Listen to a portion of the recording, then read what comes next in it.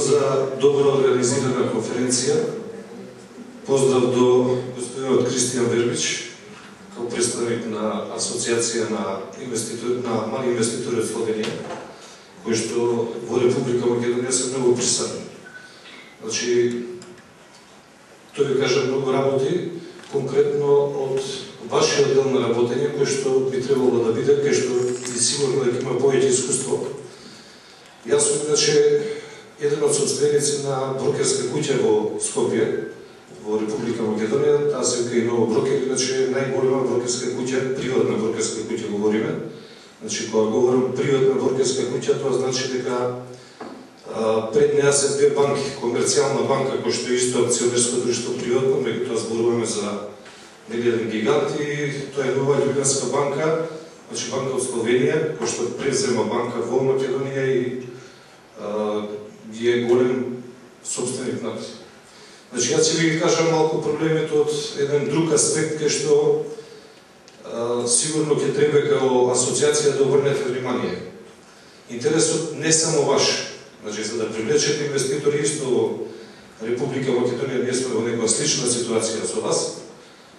Како и ние во Република Македонија, така и вие, заштитувајќи ги ситните, односно малите а, инвеститори, кои што секогаш настапуваат на пазарот,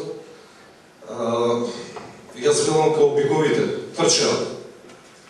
Секогаш кога гледаат дека цените на хартиите од вредност одат нагоре, и кога ги слушнете дека некој почнува да веќе во такси, односно таксистот и неговиот муштерија да разговараат за хартија од вредност, а не знаат што значат хартиите од вредност, треба да имате на оваа тема разговор со ситните инвеститори.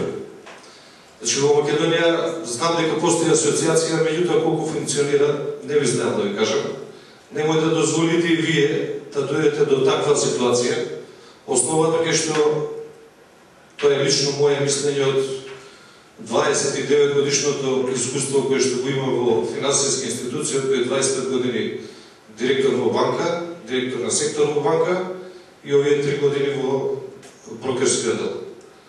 Значи, тоа е транспарентноста, односно, за жал не чув дека дека има некој од Министерство за финансии кај нас, значи тоа е еден од регулаторите еден од тие кои што би требало да ви излезе, да ви излезе во престен на остварување на правата на малите акционери. Значи, тука вие ќе треба малку повеќе да обрнете внимание на делот што значи комуникација со Министерството за финансии, комуникација со сигурно вашата комисија за карти од вредност, што ние како брокерска куќа правиме, мислам дека сме превземале дел од асоциацијата слушајќи вас. Значи, заштитата на инвеститорите конкретно ќе зборувам на брокерската куќа. Значи, на почеток дојдаа многу странски меѓу кои што први беа словенците, веруваа во инвестирањето во Република Македонија ние никогаш не ги оставивме тие, секогаш ги застапувавме значи, во борбата за нивните права. И не само нивните, него и правата на домашните акционери. Што значеше тоа? Тоа значеше во определен дел значи борба со македонската берза за харти од вредност. Борбата со македонската берза за харти од вредност од вредност беше делот кај што значи котирани компании. Значи во одреден период во 2003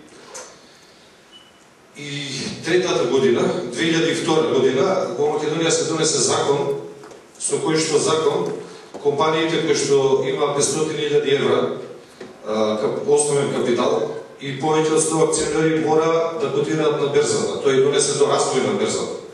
Од една страна, меѓутоа од друга страна врските кои што компаниите ги имаа према акционерите и према јавноста, односно известувањето за состојбата.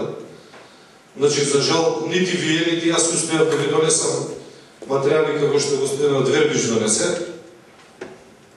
Тоа значи транспарентност на компанијата. Тоа значи интерес на компанијата за развој, а развој значи интереси на ситните акционери дека вложениот капитал нема да им пропадне. Ourselves, we are representing the Investors Association of Cyprus.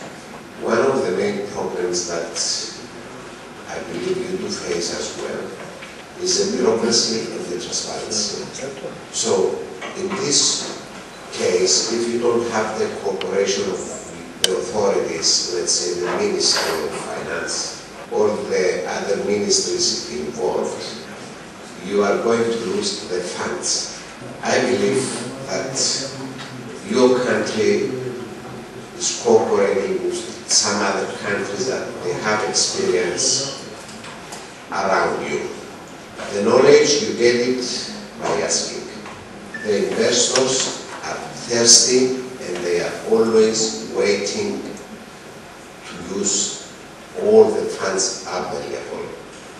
In our place, uh, the absorption of funds is about 85 to 90 percent in collaboration private sector and the government. We are at your disposal. Anything you have in mind, you can get in touch and we can discuss it, even with investors or